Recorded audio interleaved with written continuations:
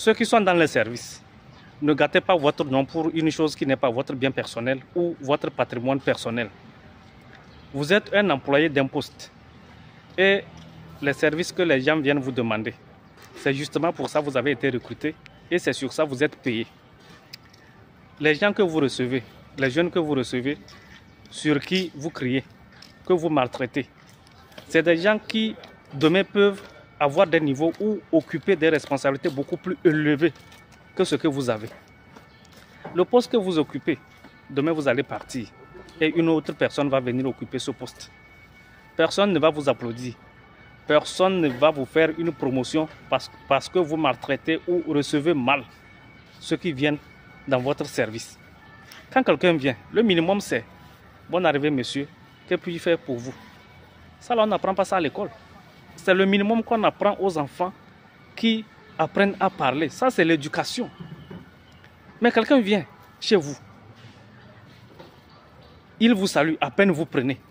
Il y en a qui disent même, vous ne voyez pas qu'on est en train de discuter, vous ne pouvez pas attendre. Ou bien, vous ne voyez pas que je suis en train de répondre à un message. Ah bon? On vous a recruté pour venir au service, pour discuter, ou bien pour faire WhatsApp, Facebook. Soyons sérieux, s'il vous plaît. Quelqu'un vient dans votre service, vous criez sur lui. Mais tout le monde a un service. Hein. Ah, je suis sûr que vous aussi, vous avez des besoins dans d'autres services. Hein? Vous criez sur la personne, la personne est toute paniquée. La personne fait des erreurs, au lieu de l'aider, au lieu de l'orienter, il y en a qui crient. On crie sur la personne. Mais est-ce qu'elle savait? C'est quoi ça? C'est quoi des fois, quand quelqu'un n'a pas l'amour, il y en a certains, c'est le chômage qui a fait qu'il s'est retrouvé dans un poste. Il est là-bas, il pousse les jurons, il ne veut pas. Il n'a pas l'amour du métier. C'est pas bien. Hein? C'est bien vrai que quand vous arrivez dans un service, il faut être poli, courtois et suivre les orientations du service. Il ne faut pas se montrer, faut pas venir montrer à quelqu'un que vous connaissez mieux son travail que lui-même. Ça ne se fait pas. Quand vous venez, suivez les orientations, même si vous connaissez une autre procédure et que lui vous dit que voilà ce qu'il faut faire, voilà ce qu'il faut faire. Tant que ça ne met pas à mal le service pour lequel vous êtes venu, obtempérer et exécuter.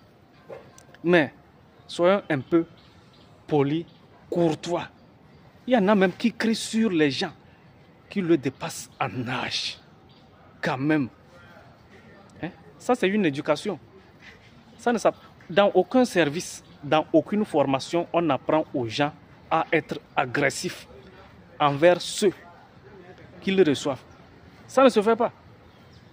Il y en a qui ont peut-être des problèmes personnels, mais si tu as des, problèmes personnels, gère ça comme tu le peux. Celui qui est venu solliciter tes services, peut-être qu'il a aussi des problèmes personnels. C'est pourquoi des fois ça se dégénère.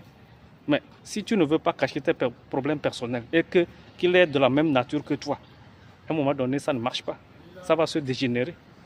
Donc, temporisons accueillons bien ceux que nous sommes censés rendre service pour le bien-être de nos services. Sinon, ce n'est pas bien. Vous arrivez, vous voyez les gens en train de crier sur les gens comme si c'était des animaux. C'est des pères de famille, c'est des responsables aussi dans d'autres services. C'est des gens qui seront responsables demain, qui peuvent devenir vos chefs. En tout cas, à bon attendeur, salut. Alex Boukal, le fils de Savant.